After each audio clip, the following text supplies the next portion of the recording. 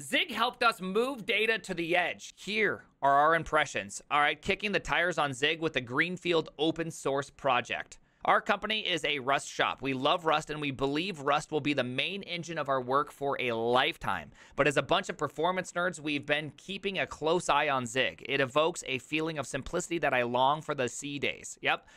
Agreed. And comptime, the ability to run arbitrary code at compile time, is straight out brilliant idea. Welcome to Costco.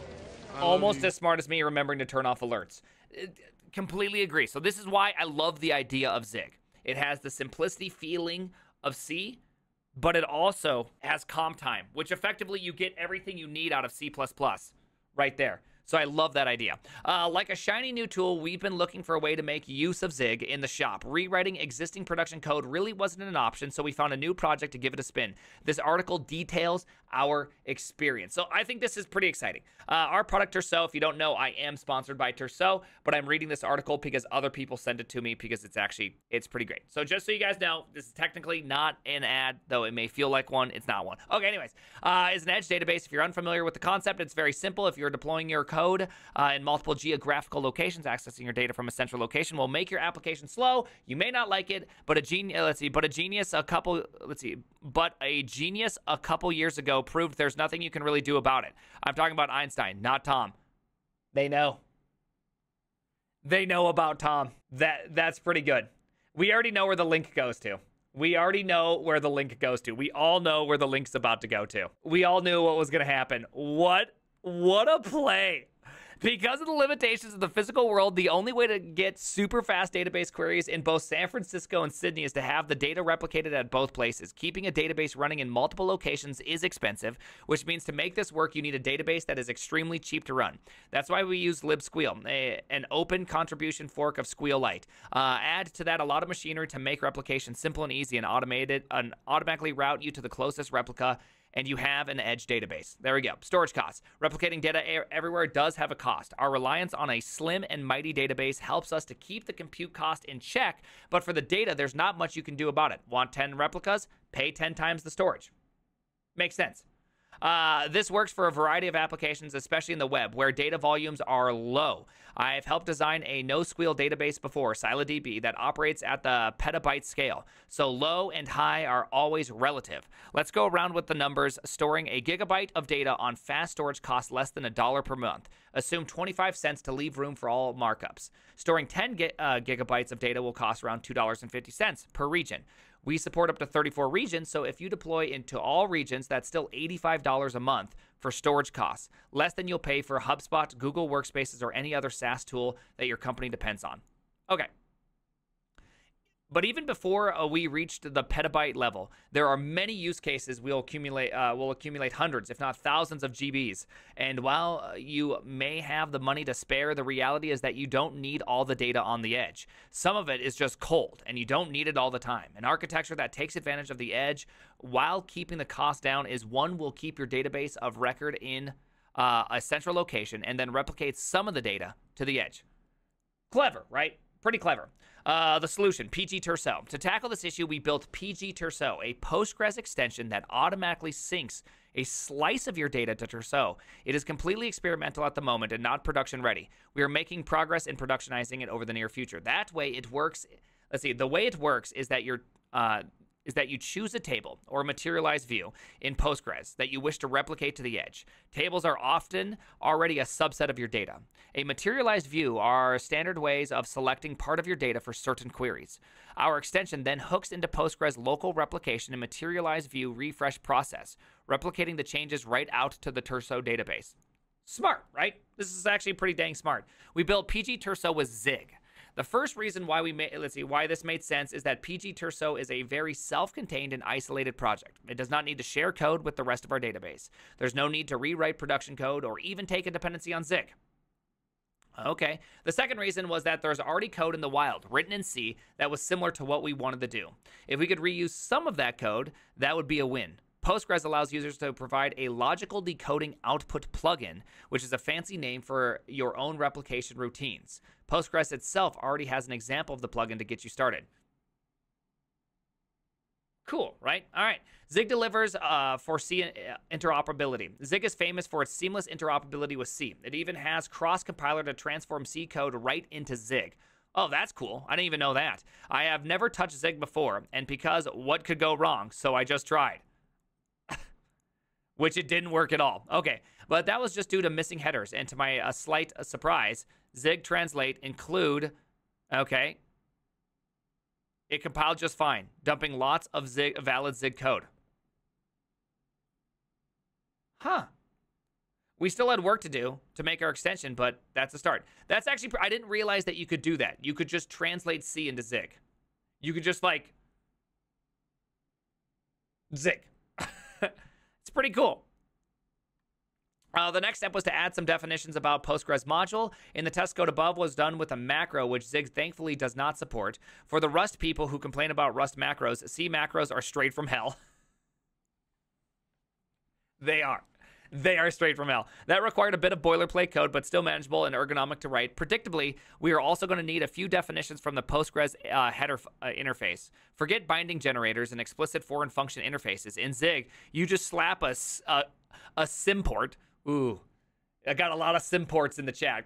Uh, and call it a day. All the C code available under an isolated namespace. That's actually super cool. I did not realize you could just you could just cImport and boom, that actually just works. Okay, that's pretty cool.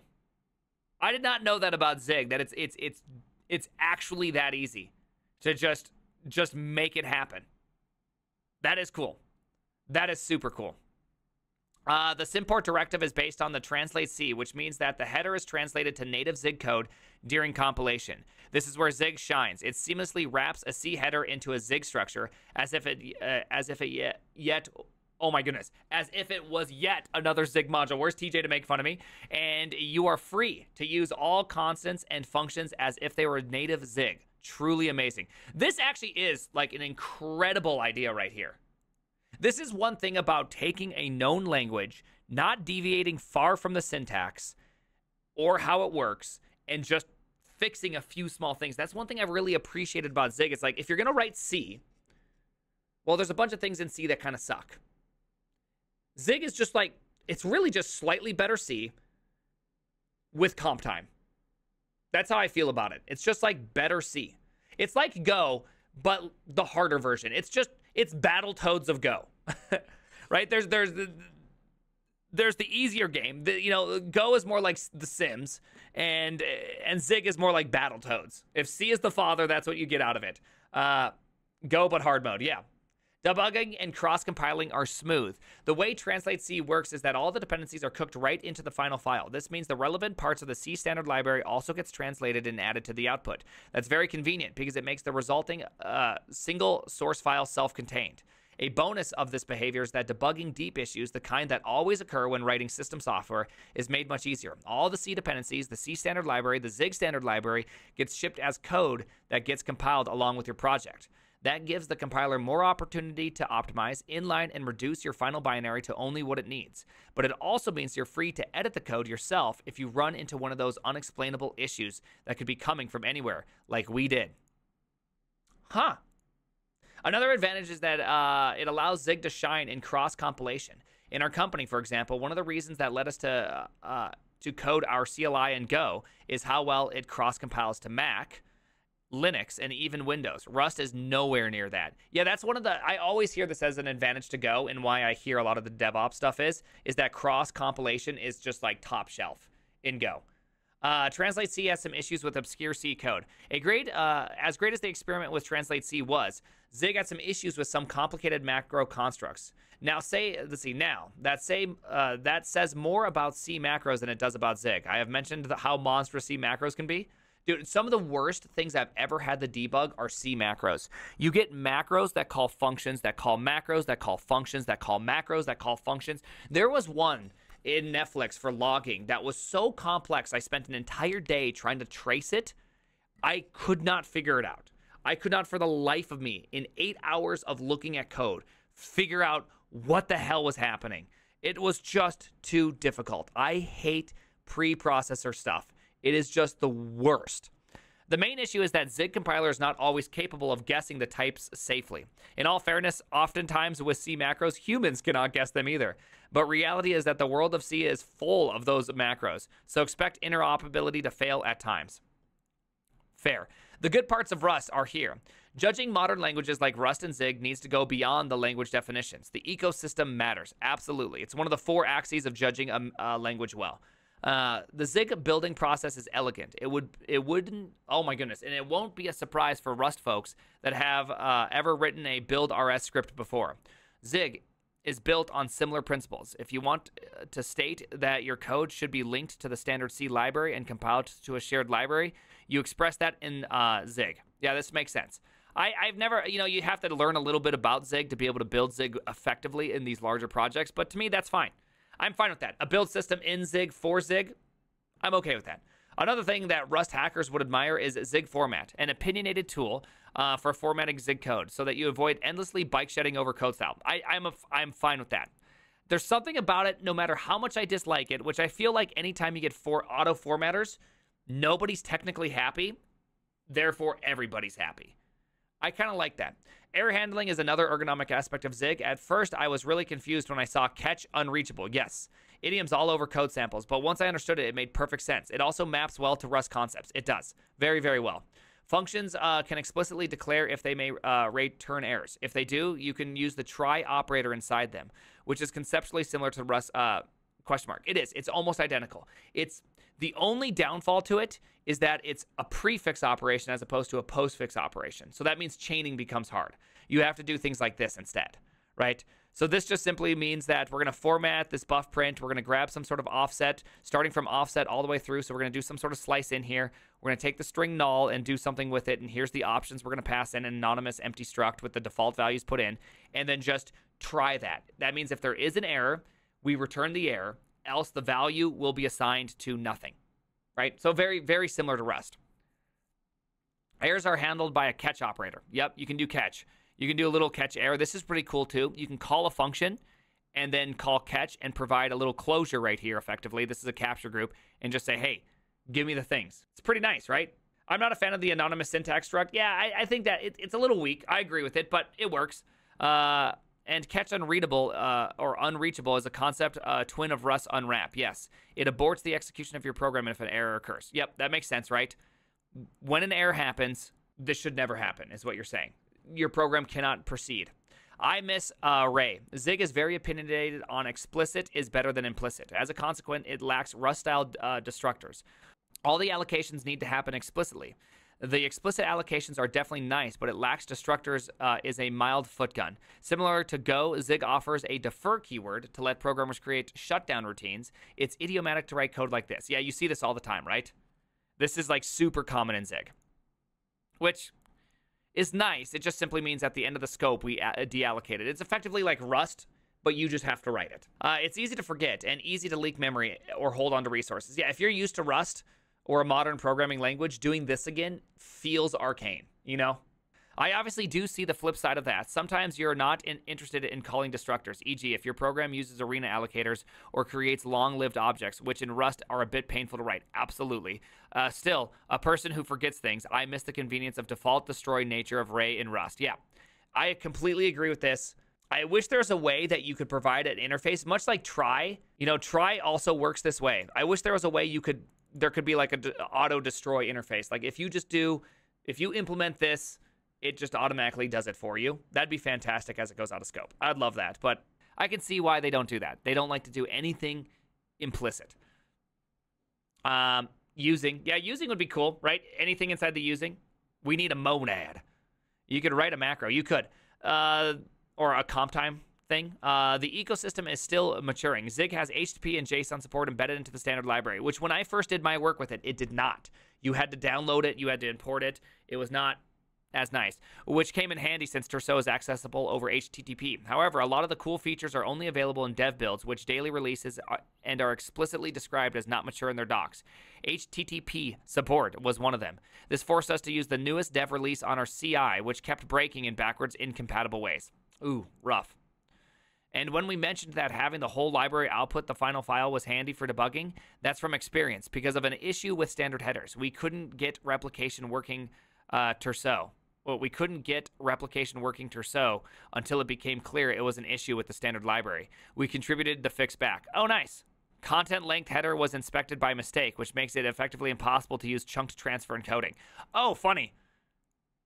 Can't do that. That's cool though. That's cool that they're patching the HTTP stuff. Chunked, uh, chunked, chunked encoding. You know, sometimes you just gotta have it. Kind of annoying, but you gotta have it. An experience. Let's see. The experience of contributing to Zig was really great. The PR was promptly reviewed and accepted, and landed in dev release soon afterward. But at the end of the day, the issue, uh, issue. That, let's see. An issue this central with HTTP headers does show that the language has uh, to mature a bit before we can switch our whole company to it.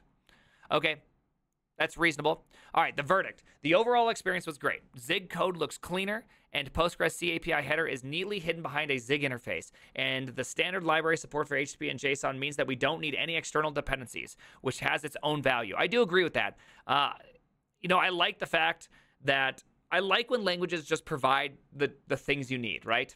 I like that. I personally want that. I mean, I know you can do Serde, and then you can do Serde JSON, and then you get it, or you want some other version of a JSON, you can use that as well. But there is something really nice about a language just saying, here is JSON, here's how you decode it, first class experience, that is that. There's something very, I just, I like that experience, okay? So like Python, like JavaScript, well, better be in JavaScript. Like, uh, not like Rust though. Rust, you do have to kind of, you know, get your own thing. Uh, despite a couple of rough edges, we remain incredibly bullish about the future of Zig. The future, though, is not yet here. This was a great article. I really, really like these kind of articles because it wasn't too technically deep, right? We're not reading just gallons of code, right? This wasn't gallons of code to be read, but it was perfectly to the point. It highlighted everything I wanted to know about Zig. Because the problem with Zig is that I often build only toy projects. I'm not building something fully like must be getting ready to be productionized, meaning I'm making a really long-term bet on it. And so for this is like a re- this is like a really good example of why you can make a long-term bet on it, but you have to know what is happening. And so generally how I, I judge a language is like the language syntax itself uh, and then ecosystem. That's really important. And so the syntax itself and how it handles various cases, like it doesn't throw errors. It's just a must in today's languages. I, I hate using languages that throw errors at this point. They're just so prone to the most thorny things. And the one good use case is a global catch handler for a CLI application that just terminates your program, right? Like that's the only time I really like it. Uh, and so Zig really fulfills that. The the community, the ecosystem is pretty good. Docs are pretty good. So it is it is definitely poised to do something pretty amazing. I think Zig will win in embedded if we can really get the right, you know, if we can get enough people working on it, which is kind of unfortunate that it takes a huge people, but or a huge amount of people to do that, and I'm not that person. But I think Zig will win ultimately because Zig is just easier to write. It's just the right it's just the right thing. You know? Anyways, Personal thoughts. Awesome. Links always in the description. I'm actually pretty excited about Zig. I still think Zig has a big future ahead of it. I just don't feel like Zig is there yet for me. OCaml is actually, I, I'm really excited about OCaml. I wrote yet another little thing in OCaml this morning. Very excited about that. Um, you know, I, I, I really, really want to see that. So, anywho, the name is the Primeagen.